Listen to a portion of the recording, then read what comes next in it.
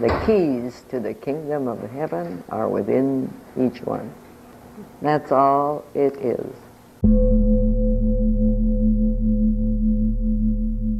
人身術を通して私たちは自分たちがハーモナイズしていくという方法を知ることができていると思います。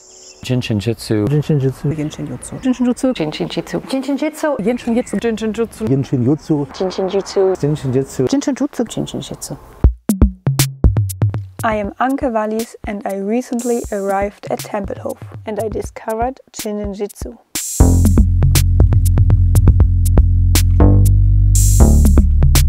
I got the feeling that this idea would influence my whole life and I decided to learn more. I invite you to follow me, how I start my journey to go deeper and deeper into the art of Jinjitsu. So what is Jinjitsu? Our body contains several energy pathways that feed life into all of our cells. Through inner and outer influences, the energy can become blocked, which can cause discomfort or even illness. Shinjinjutsu is the art of releasing this tension in the body. Our hands can be used like jumper cables to make the energy flow again. After my first experiences with Shinjinjutsu, I went to Berlin to get more practice. Es zu praktizieren bedeutet, zu lernen, mich selbst zu fühlen. And to meet Christine, the author of the main central.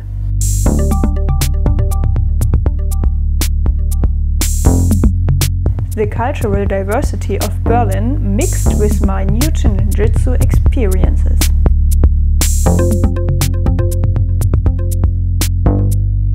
But the journey didn't end here. When I first met Petra in Tempelhof, she invited me to come to her class in Portugal. This was the beginning of my international Shinjitsu journey. Ich bin zwar noch müde und gleichzeitig freue ich mich, dass wir jetzt nach Portugal fliegen, um am Kurs von Petra Elmendorf teilzunehmen. Ja, der wird komplett auf Englisch sein. I will meet Petra Elmendorf and I take a class with her. A fifth day class. Fifth day class? I will take a five day class there and I'm really happy about it.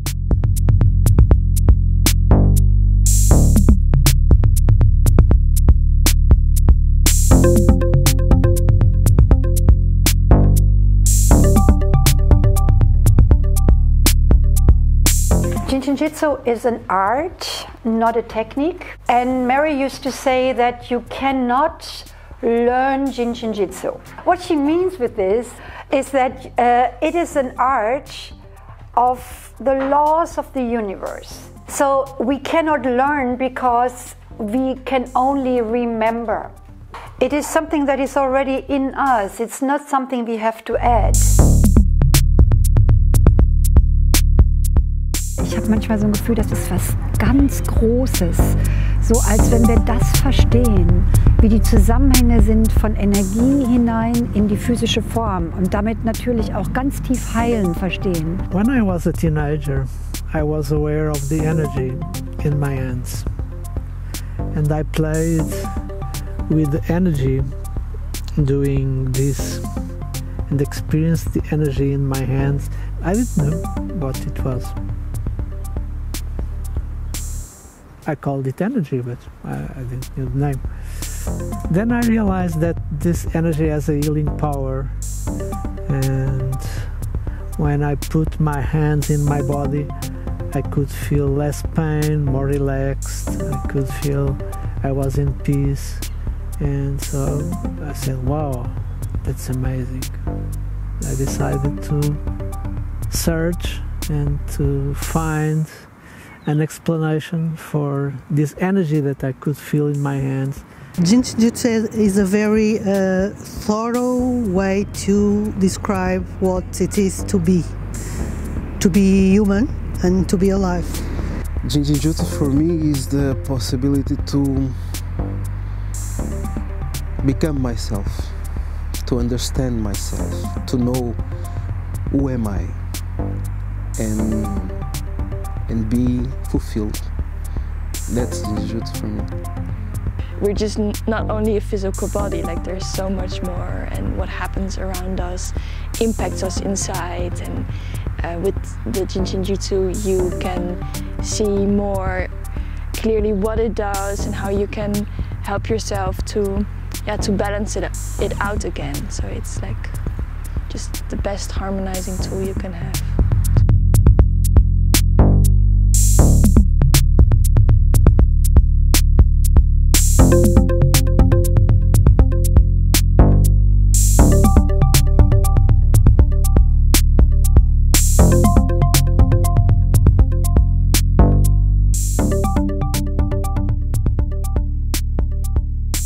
Portugal, my journey continued.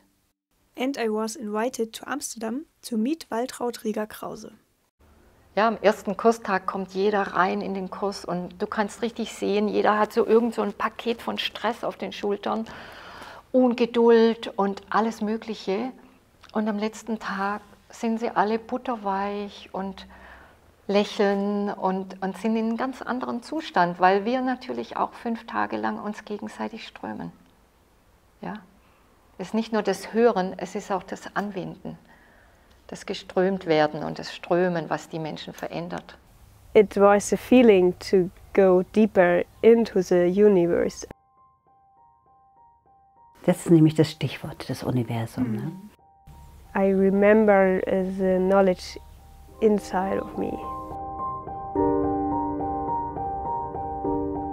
My fire for Chinajitsu started to burn again. I am my sole responsibility of my own destiny. Then doesn't it make life simple?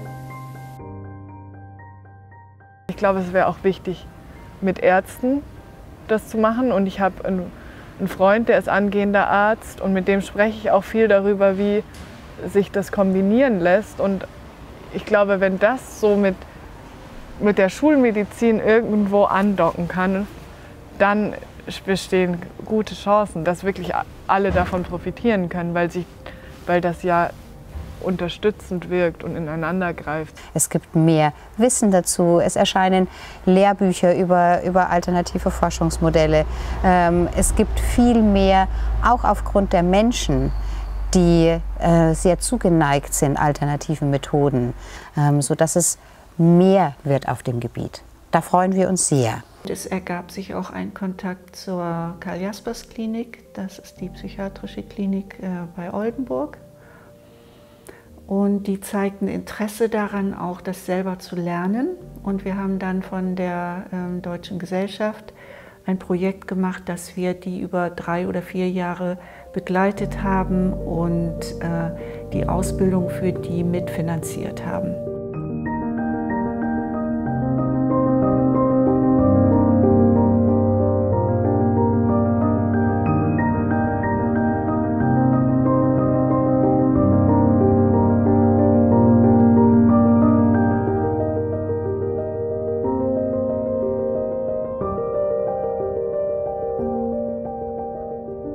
Unser Geschäftsführer, Herr Weber, kam auf mich zu, das war in 2011, und äh, berichtete mir, dass er äh, einen äh, Hals-Nasen-Ohrenarzt kennengelernt habe, der Jinshin Jutsu-Angebot anwendet, sozusagen, und ob das nicht auch etwas für unsere Patienten wäre. Da waren wir, glaube ich, 14, 16, 17 Leute insgesamt. Und habe auch erstmal gedacht, huch, was erzählen die mir denn hier alles? Das ist ja auch ein bisschen komisch.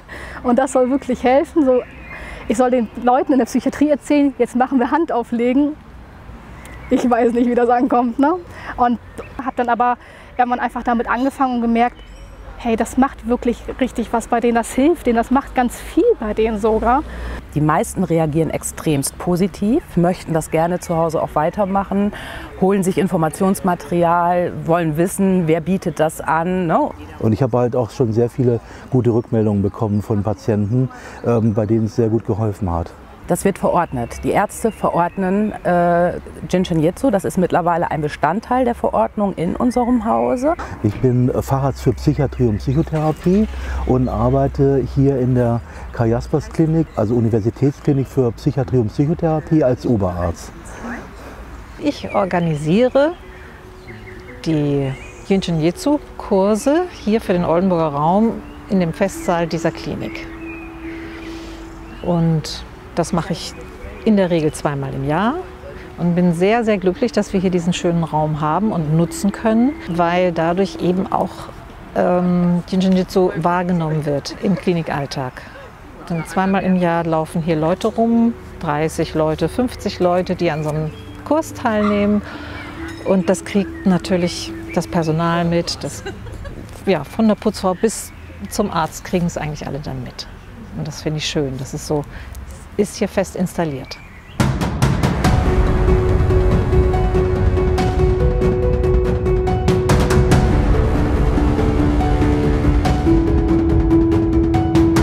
After my medical journey in the north, I was invited to the south to take a class with Jed Schwartz in Munich.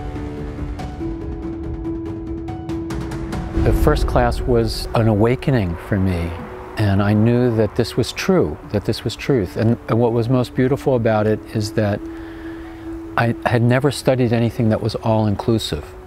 And Jinshin Jitsu isn't just a one path, it's a way of explaining the full circle of life. So whatever you are fits into Jinshin Jitsu and it's not dogmatic. And it has a lot of, it's a living movement of art so that there's flexibility from wherever you come as a way of understanding it and embracing it and utilizing it. So it was never limiting, it never was boring, I never felt like I knew everything. It, it was endless. And that was, that was exciting to me. After meeting all these interesting people, it was time for me to go to the Shinjinjutsu headquarters in Bonn.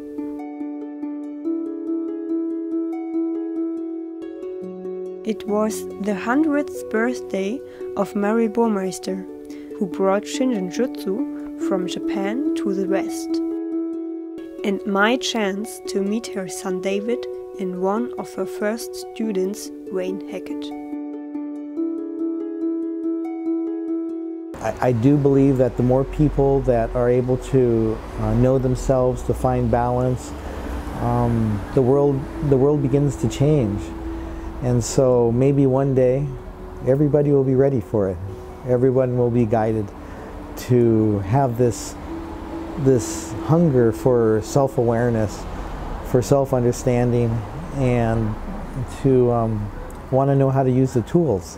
You can place your hands on the body and the light comes on and the body gets happy. It's that simple. I met Mary Burmeister on November the 14th, 1977. As soon as you know that holding your thumb will help your digestive system, you're a teacher. Also dieser Finger hilft gegen Angst und der Daumen hilft eigentlich gegen alles.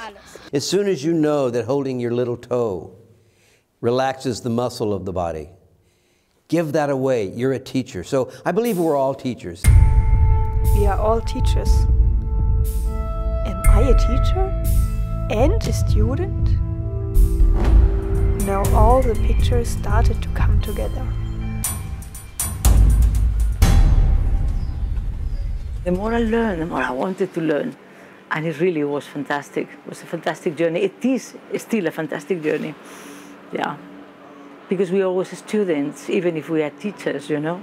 And the only, the only way we're going to really be successful in this life is to be able to learn and share with each other. Das kostet kein Geld, man hat die Hände immer bei sich und es ist eine geniale Möglichkeit, ähm, wirklich sein Leben auszurichten nach, äh, ja, nach Harmonie und Gesundheit. Diese Einfachheit, die dann auf den Kursen manchmal so komplex wird, kehrt trotzdem zurück in die Einfachheit. Du kannst immer einen Finger halten. Und damit harmonisierst du schon über 1000 Funktionen. Du kannst einfach nur mal bewusst ausatmen. Mary hat uns immer erzählt, dass die Ausatmung zuerst kommt. It's our thoughts that we need to release. Erstmal loslassen, Platz machen, das Überflüssige entladen. Und dann kommt all die Fülle zu dir, die du brauchst. The teaching of Jin Shin Jutsu says your authority is inside you. Your answers are inside you. Mary used to say, the presence of a question tells of the answer already within. Ich muss nicht immer die gleiche Sprache sprechen.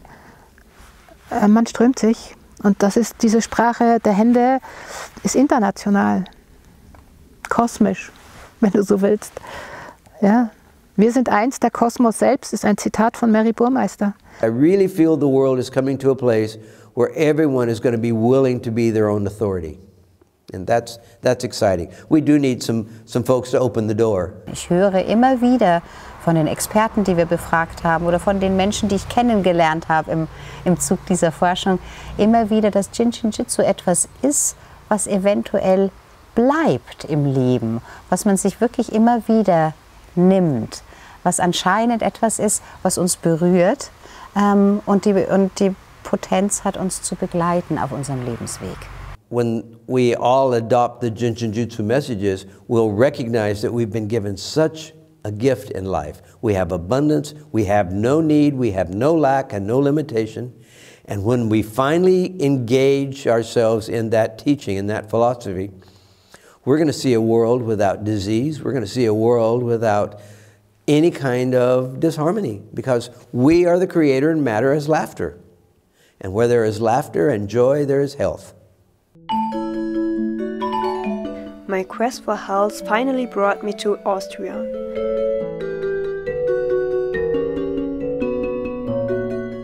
Where I participated in a very powerful weekend of Jinjutsu combined with hiking the Austrian mountains. Wir nennen das, was wir hier machen, Strömen und Wandern. Und es sind vier Tage, wo wir sowas wie eine Auszeit nehmen, uns zweimal am Tag gegenseitig strömen, am Morgen und am Nachmittag. Und wo wir dazwischen Zeit haben zum Rausgehen. In die Natur, in den Wald, auf den Berg. Das hilft der Menschheit, was wir da machen, im ganz Kleinen. Das, das hilft dem eigenen Zellgefüge und der, unserer Gruppe hier von 26 Menschen so ein kleines bisschen dazu beitragen, dass es der Welt ein klein bisschen besser geht.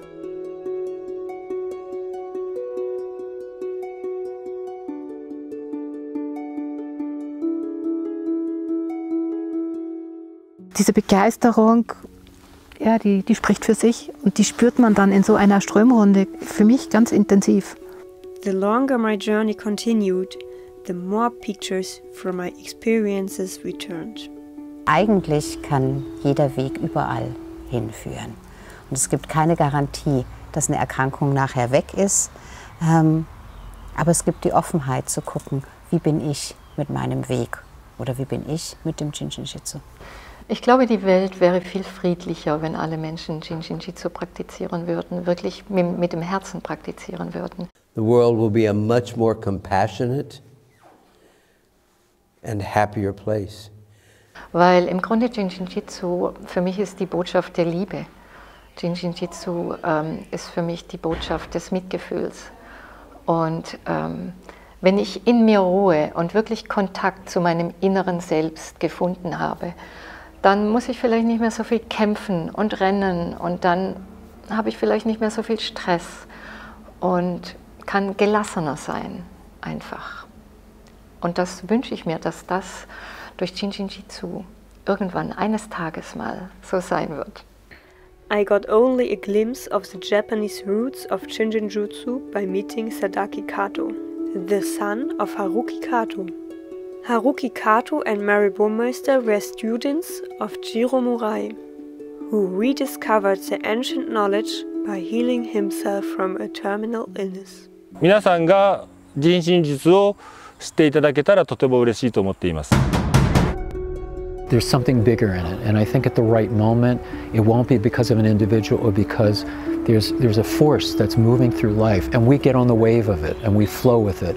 So I think what is important is that Jinshin Jitsu And the people who do it and the people who teach it work it stay current. They stay connected to what's happening in our modern world. They stay connected to traumas and travesties that happen so that they're available to help in situations like that. Just to be available and to, to not hide from it, to be able to know that any one individual can change the world. And all I can be is the best me. And if I'm the best me, then I'm doing my job.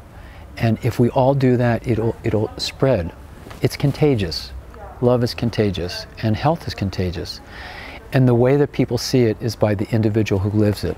So if you live what you talk, then people will recognize it. You first have to be it. And I think if we are living the philosophy and the life, then it, it has its natural way of flowing to reach others. Thanks for this great answer. Thank it you. worth the, the Oh, good. Well, thank you both.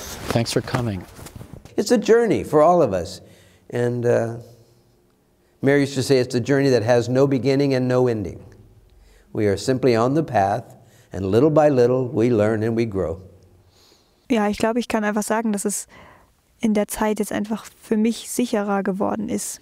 Klar stehe ich noch am Anfang auf der einen Seite und auf der anderen Seite ist es so, habe ich schon mehr Vertrauen darin, dass ich auch eine Vermittlerin sein kann von der universellen Energie und dass da wirklich auch was passiert in dem anderen, den ich dann ströme. Und das ist schön. When the world says you can't, say I can.